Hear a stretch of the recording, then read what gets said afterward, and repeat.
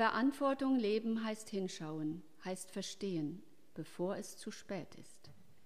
Eiskirchen.